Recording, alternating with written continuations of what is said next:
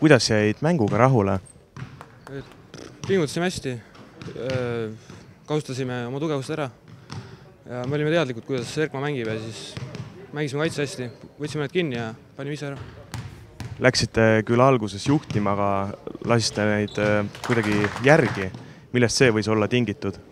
et äh, meil oli vahe nii suur, et treener tahtis mängida, mängitada neid mängijaid, kes on vähem mänginud. et meil oli vahepeal asendusviisik mängus. Kuidas teile liiga tase meeldib?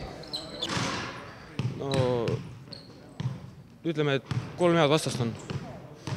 nagu tegelikult väga palju häid mänge ei saa just, aga õnneks on nagu vaste, vastastiime, kes on meie tasemel ja kellega on hea mängida. mis teie ambitsioonid tuleviku suhtes on, kus te tahaksite mängida? tahaks jõuda Euroliiga tasemele ja siis seal tegusid teha